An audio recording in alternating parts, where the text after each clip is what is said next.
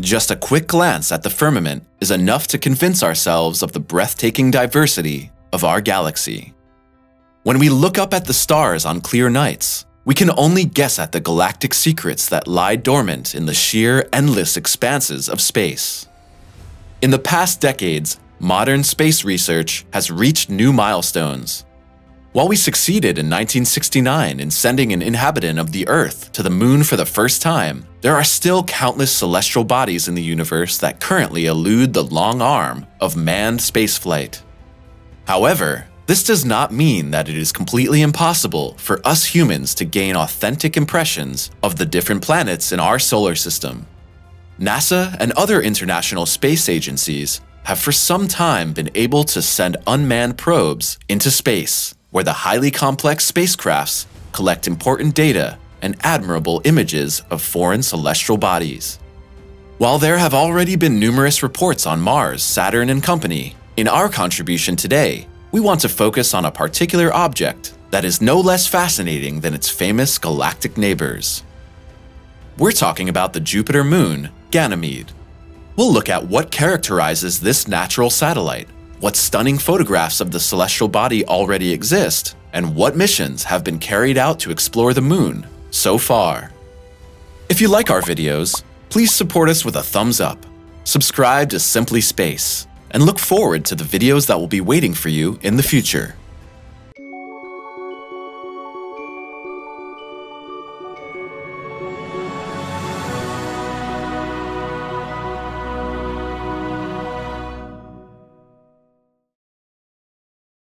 The fascinating moons of Jupiter. About 778 million kilometers away from our blue home planet is the giant Jupiter. This giant gas planet has an equatorial diameter of an incredible 143,000 kilometers, which makes the celestial body, named after a Roman deity, the largest planet in our solar system. To orbit the fixed star of our solar system just once, the gas giant needs more than 11 years.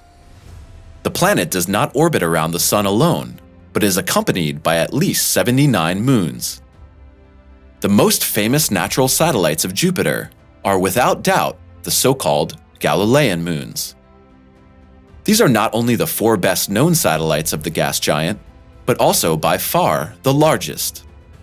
As the name of the moon group already suggests, the satellites were once discovered by the world-famous researcher Galileo Galilei.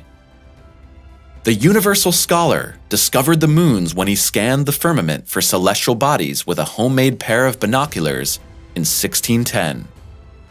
Since then, we humans have learned about the existence of Io, Europa, Callisto, and Ganymede.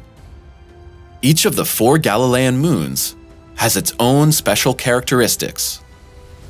Accordingly, the surfaces of the galactic satellites also differ significantly from one another. While the outer surface of Io is characterized by volcanic activity, the surface of Europa is crisscrossed with innumerable furrows, kilometers wide. Callisto is in turn known for its numerous craters. But what actually makes up Ganymede, which is the subject of our contribution today? Ganymede, the king of the Galilean moons. In the group of moons of our solar system, no other celestial body reaches the enormous dimensions of Ganymede. Jupiter's constant companion brings it to an equatorial diameter of 5,264 kilometers, which also gives Ganymede the title of the largest known moon in our planetary system. In detail, the satellite is even larger than the planet Mercury, whose diameter is around 4,880 kilometers. With an equatorial diameter of 3,472 kilometers, our Earth moon may not be able to hold its own, but at least the companion of our blue home planet still makes it an honorable fifth place in the list of largest satellites in our planetary system. In terms of its material composition, Ganymede is classified alongside the icy moons. This refers to the natural satellites whose surfaces, as the name of the classification already suggests, are mostly covered by icy materials. The core of the moon consists of iron. Ganymede is currently the only known moon that has a very strong magnetic field of its own. The name of the satellite comes from the world of Greek mythology. In the belief of the ancient Greeks, Ganymede represented an exceptionally beautiful man who served at the court of the gods. However, several centuries were to pass before the name Ganymede would fully establish itself. After Galileo Galilei had discovered the four largest Jupiter satellites in 1610, they were simply called the Jupiter moons 1 through 4. Nature and characteristics of the moon. The Galilean moons have always been characterized by their particularly high brightness. In fact, it is possible to see Ganymede and his galactic siblings with a simple telescope, just as Galileo Galilei did a good 400 years ago. If Jupiter's largest moon were not overshadowed by its fixed planet, it could even be seen in the firmament without any aid. It takes a little more than a week for the moon to completely orbit its planet. The satellite needs the same time to rotate once around its own axis. As we already mentioned briefly, Ganymede belongs to the icy moons.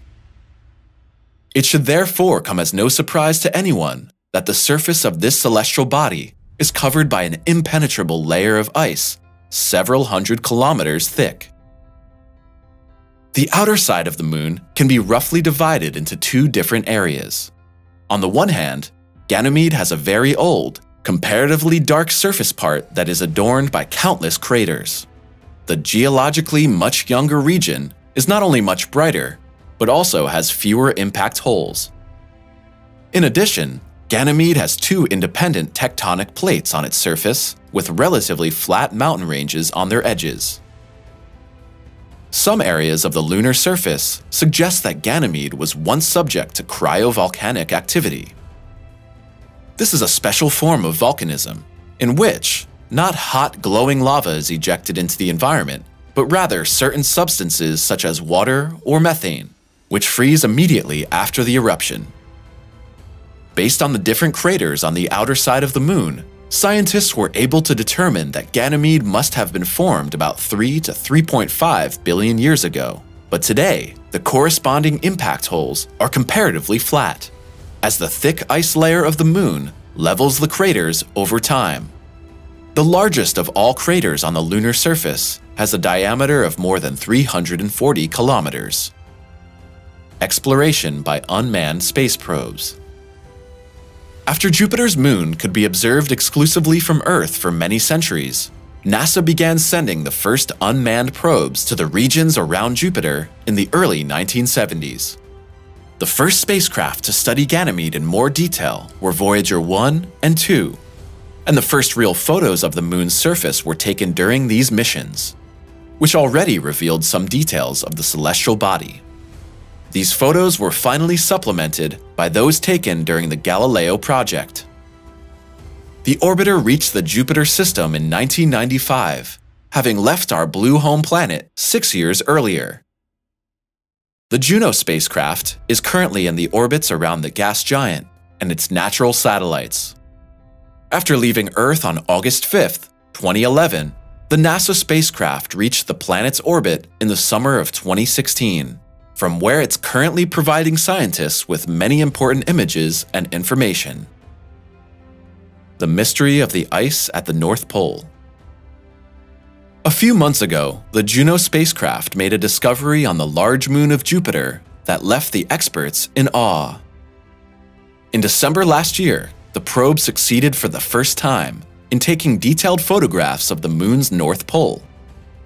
However, the nature of the ice in this region made scientists suspicious. While most of the ice surfaces on the natural satellite have a crystalline structure, the nature of the North Pole ice differs significantly from this pattern. A crystalline structure, however, is the characteristic lattice-like structure of ice crystals that are arranged hexagonally. However, the ice at the North Pole of Ganymede is amorphous. This means that the individual molecules have no recognizable order.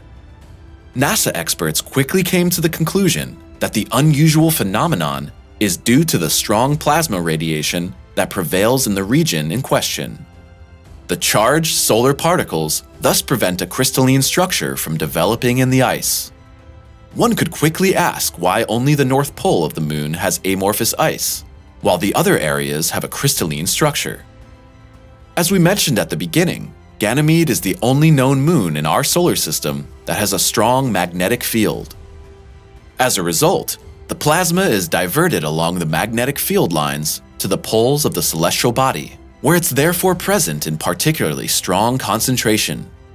At the same time, the moon's magnetic field ensures that the fascinating aurora borealis are constantly prancing around at the poles of the satellite. Mysterious auroral movements at the poles. Is there an ocean beneath the moon's surface?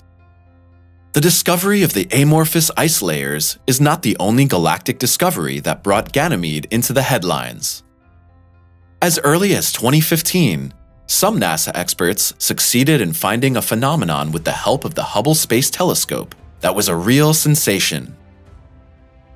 According to this, experts found further evidence that beneath the impenetrable ice layer of the moon, there could be a gigantic ocean of liquid water.